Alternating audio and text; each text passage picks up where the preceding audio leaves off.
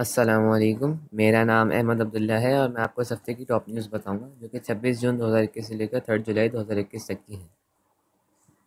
Military and parliamentary leadership strongly reject giving basis to USA Pakistan की अस्करी और parliamentary क़्यादत ने बहुत भरपूर अंदाज में रिजेक्ट कर दिए कि यूएसए को किसी सूरत बेस नहीं दिए जाएँगे। अभी दो दिन पहले मिलिट्री ऑफिशल्स ने पार्लियामेंट्री लीडर्स को पार्लियामेंट्री मीटिंग में ब्रीफ़ किया तो उसके बाद सबका मुतफ़ा मौक़ आया कि यूएसए को किसी सूरत बेच नहीं दिए जाएँगे और उनकी जंग में किसी सूरत शराकत दारी नहीं करेंगे।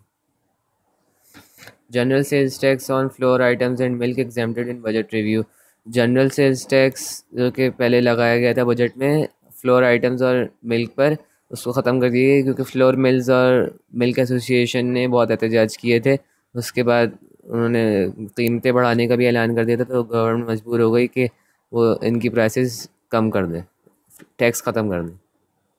Government lowers taxes on food auto auto industry real estate and refinery in budget review government ने टैक्सेस कम कर दिए हैं खाने पीने की अशिया पर ऑटो इंडस्ट्री पर और रियल इस्टेट और फाइन रिफाइनरी पर बजट रिव्यू में, जिसकी वजह से चीज़ें बहुत ज़्यादा सस्ती तो नहीं होंगी, लेकिन महँगी नहीं होंगी। टैक्स एग्जामेशन जो कि साढ़े आठ सौ सी की गाड़ियों पर दी जा रही थी, उनको हज़ार सी तक बढ़ा दिया जिससे वजह से अब साढ़े आठ सौ सी तक जो सस्ती हो रही थी गाड़ियाँ, वो हज़ार सी तक वाली भी सस्ती हो जाएँगी।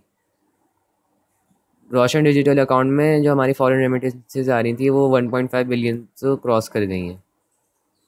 टेक्सटाइल इंडस्ट्री ने हुकूमत को वार्निंग दे दी है कि अगर वो गैस की लोड शेडिंग का मसला हल नहीं करेगी तो अपनी इंडस्ट्रियाँ किसी और मुल्क ले जाएँगी, क्योंकि तो पाकिस्तान में उनको गैस लोडिंग लोड शेडिंग की वजह से बहुत नुकसान हो रहा है। तो पाकिस्तान की गवर्नमेंट ने उनको यकीन दहानी कराई है कि मिड जुलाई तक वो तमाम जगह पर गैस बहाल हो चुकी होगी, फिर कोई मसला नहीं होगा।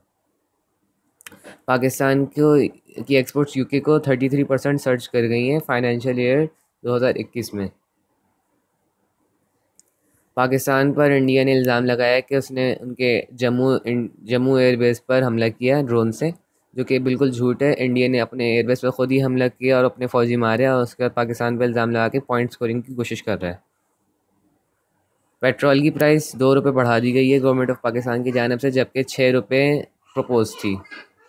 इलेक्ट्रिसिटी रेट आठ पैसे बढ़ा दिए गए फ्यूल प्राइस बढ़ने की वजह से पाकिस्तान में। आज के लिए बस इतना ही फिर मिलते हैं इंशाल्लाह अगली वीडियो में।